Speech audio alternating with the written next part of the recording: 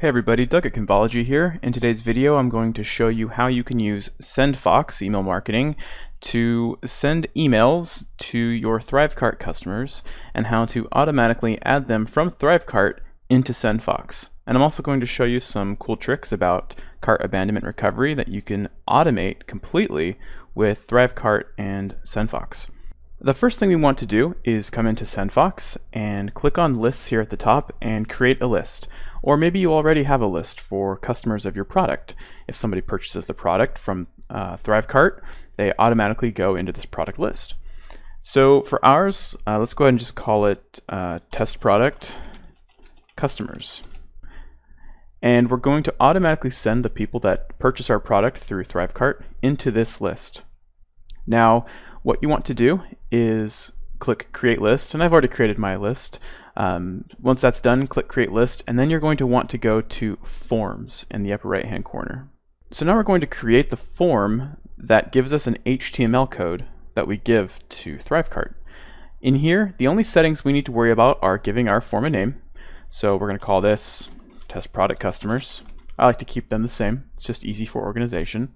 And then we choose the list that we want our members to go into. Uh, for this one, I'll keep test list as my list. But this would be the list that we just created for customers that purchased our product. Now we need to decide what uh, fields we want on our form. So for me, sure, I'll have the first name and the last name. And that's really all we need to do. We don't need to worry about the GDPR consent here. We can do that on ThriveCart itself, on our product, uh, just to ensure that you've got all the GDPR stuff there. You don't need to add a redirect because we won't be using it. And the submit button copy, um, this is not relevant either because the user will never actually be submitting the form on their own. We really just need the name of the form, what list they go into, and the checkboxes for the fields we want to collect their data from. And then we hit publish form. Now we click this copy code button and we take this HTML code over to ThriveCart. Now we're in ThriveCart, and once we've set up our product, uh, we've set up our pricing, our fulfillment, and the checkout design, we come to this last tab called Behavior. And we click on the Add Rule button, and for this example, we are going to add people to SendFox when the main product is purchased. And we're going to use custom HTML we just simply paste in the form code that we were given by SendFox and click Save. That's it. That's all there is to it. Now, let's add another rule.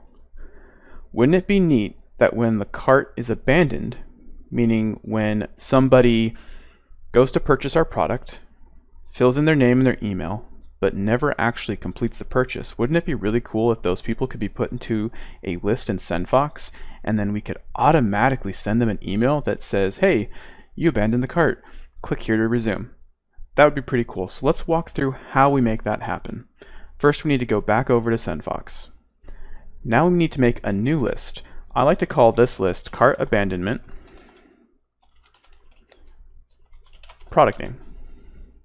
So when you create a product, this is how I organize it. I have cart abandonment lists for the product name.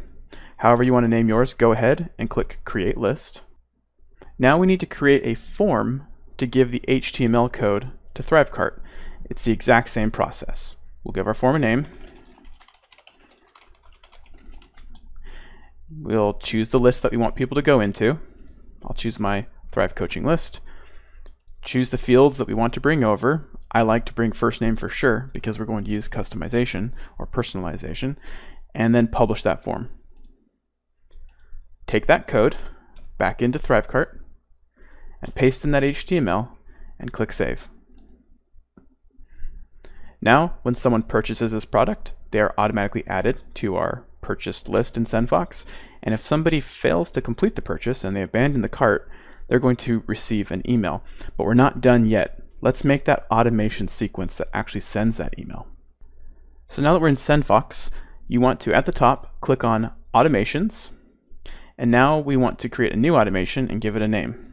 So I'm going to name mine Cart Abandonment. Uh, let's say I was making this for my Thrive Coaching product. I'm going to click Save and I'm going to choose the list that I want them to go into, let's say for Thrive Coaching, And now I need to set up what happens when this gets triggered. So when somebody is added to my cart abandonment Thrive coaching list, that's the trigger, right?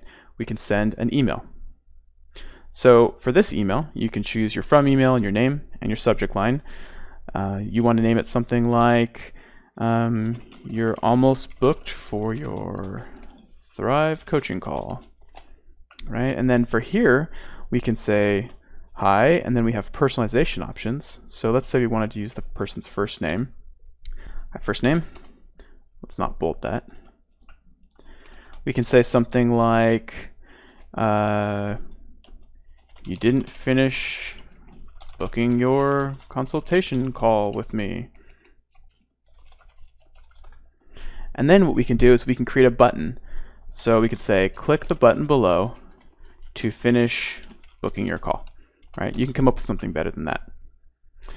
But we need to click this button. I like to add a button. You could add a link, but I like to add a button. And we can give this button a text. So we could say, resume booking your call. And we need to give it a URL. So this URL needs to be the product URL or the checkout URL that you set up in ThriveCart. So let me show you an example. Here we are back in ThriveCart. Let's click Save and Get URL. So for me, this is my URL. I'm going to copy this and I'm going to go back into SendFox. Now I'm going to paste in my URL. But there's a little bit more information that we need to gather. We want to send personalized information about this customer back into ThriveCart. And here's how you do that. I've gone ahead and I've written up all of those instructions at convology.com. I'll put a link in the description of this video in case you're watching this on YouTube, and you can find how to build these links.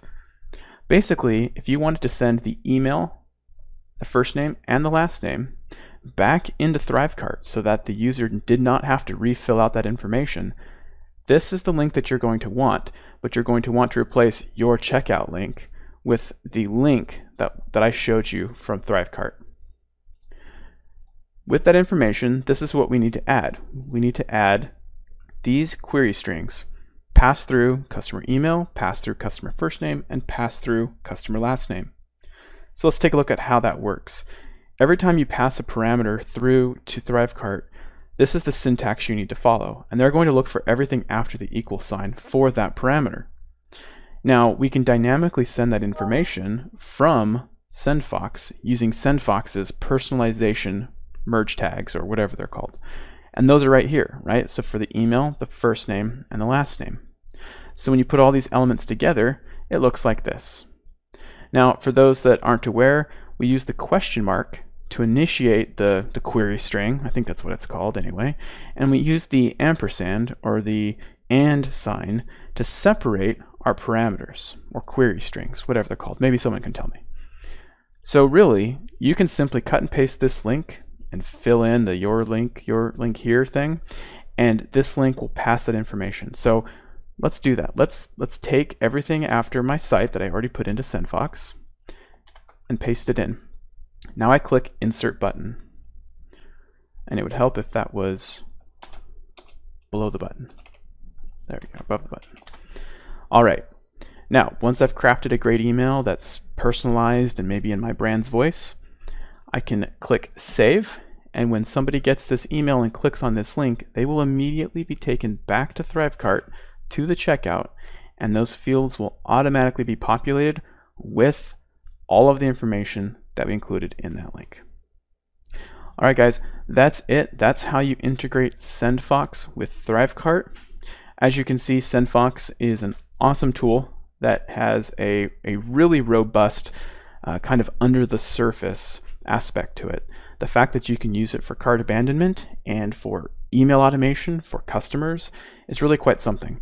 Um, if you're interested, there's a lifetime deal for SendFox.